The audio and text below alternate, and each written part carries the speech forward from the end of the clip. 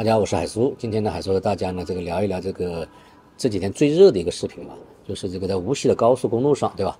有一个车主被一台试图加塞的特斯拉呢，这个三次逼停啊，三次逼停，而最后一次呢是非常非常危险的。我们先回顾一下，简单的回顾一下这个事件。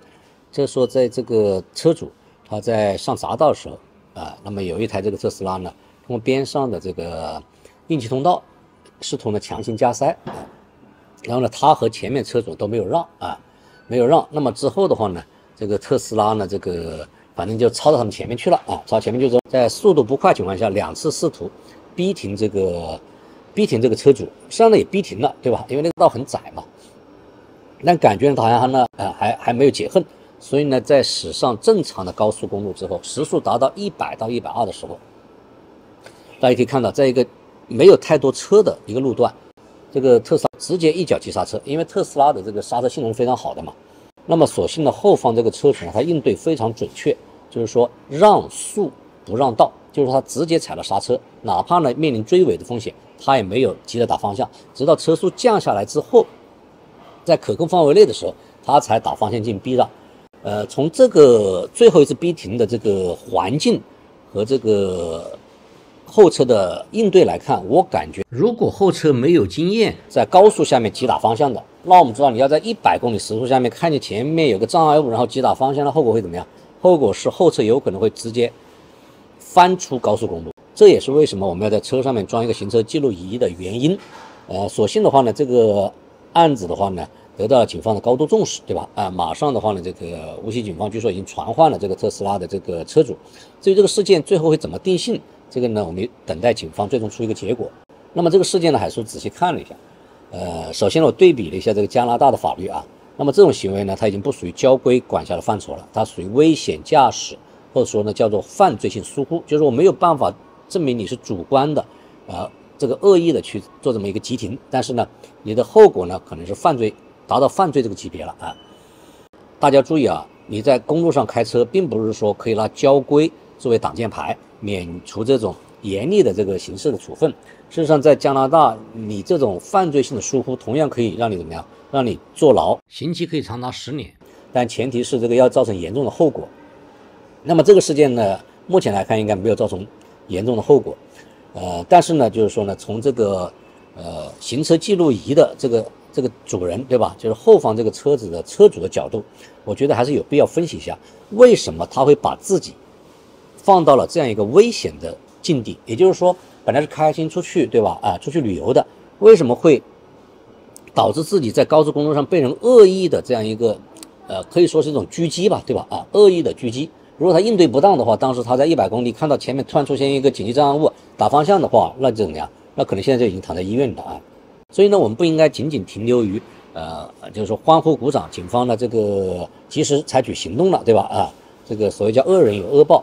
我们更应该怎么样？要防止自己遇上这种恶人。那么海叔呢？仔细看了一下这个视频的前段，我发现问题出在哪里，你知道吗？就是说，当这个后方的这个车主他在特斯拉试图加塞的时候，他没有让人家。其实这一点的话呢，并没有怎么样让对方激动起来，没有引起路怒症。但是呢，他在第二次，大家仔细看啊，看这个视频，就是说这个大家都在排队嘛，等了很长时间，然后呢，前方的车子怎么样移动了？啊，移动了，而且移动距离蛮长。从视频上来看，可能移动了有十米这样的一个空档出来。这个时候呢，后方车主一直没有任何动静，在边上准备加塞的特斯拉怎么样？他就试图这个加塞了，并且呢，他的车子怎么样？已经移到了这个后车的前段啊，他不是从后方突然刹出来的，而是他已经移动了，移动到前方了。这个时候，我们看到后方这个车主突然好像醒悟了，然后呢？一脚冲上去，怎么样？把人家的路给堵住了，而且差点就撞上了，差点就撞上了。那么看过这个之后，大家可能开始品味出一点味道来了。就是说，如果说这个车主像他一开始第一次特斯拉想加塞的时候表述那样，凭什么让你加塞？那行，那你就认认真真跟着前车，一直跟得很紧，人家呢也就放弃在你的加塞，他给你找后面的，对吧？哎，那么既然你出现了这个走神，对吧？没有紧盯着这个，没有全神贯注在前方车上面，那么现在让出了这么大一个车道。那么人家想从你这边加进去，你这个时候应该怎么样？应该呢，适当的让一让啊，因为你这个时候在人家已经发动之后，对吧？你再从后方突然窜出去，这本身也是一种危险驾驶行为。那么我觉得呢，就是我们行车上路的时候，除了遵守交通规则，二一个呢，还有一个就是我们教练都会跟我们讲的，就文明驾驶嘛，文明驾驶。在人家车子已经启动的情况下，即便你占理，对吧？我们中国有句古话讲得好，叫占理让三分吧，啊，占理我也让你三分，对吧？这样呢，才能保证自己的保证自己的安全。那么我们开车上路，对吧？当你发现有一个人不愿意遵守交通规则啊，驾驶行为不够文明的时候，你是应该躲着他，还是去惹怒他呢？所以我觉得，作为观众也好，作为这个事件当事人也好，其实呢，呃，我们应该力求去避免这种事情的发生啊。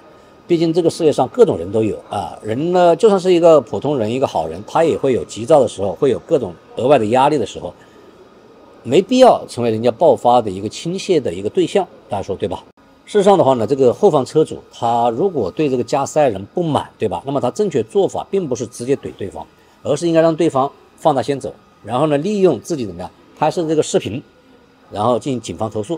事实上呢，在西方的话呢，哪怕你没有任何证据，没有这种视频，对吧？你一样的可以打电话进行投诉。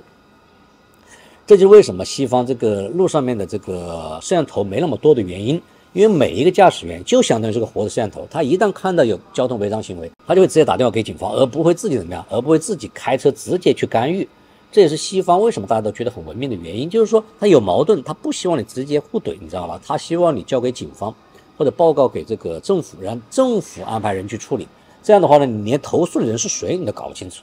呃，最常见就是邻里关系，比如说，呃，在西方很多年轻人喜欢在周末的时候或者晚上搞大的 party，在自己后院，这样的噪音呢会可能会吵到周围的邻居，对不对？这个时候呢，你不要跑去邻居那敲门，说你们能不能早点结束啊，能不能声音低一点，啊而是应该怎么样？而是应该打电话给市政府或者打电话给警方，让警方派人怎么样去通知对方啊。如果他不改啊，甚至警方会直接给他罚款，而且他他被警方这样处分以后，他都不知道是谁投诉的。那这样的话，大家邻里之间相处怎样怎么样，就自然会很文明。虽然你知道是邻居投诉，但是周边那么多邻居，你知道是哪一家呢？你不知道啊。这也是这个西方一种成熟的社会管理的模式。那么在中国这招管用不管用呢？我不是很清楚啊，但我相信呢，这是未来发展的一个方向啊。那么不管目前达到这个阶段没有，大家都可以努力的按这个模式。去尝试，对吧？那么在中国这样做到底行得通行不通呢？欢迎大家啊，这个留言分享你自己的看法和经历啊。好，这就是海叔关于这个事件的一点思考。那么我的微信号呢是 tustudy 九九，欢迎大家加海思微信一起交流。如果你喜欢我的节目呢，希望你能关注我的频道，点个赞，留个言，转发给更多的朋友。好，谢谢大家。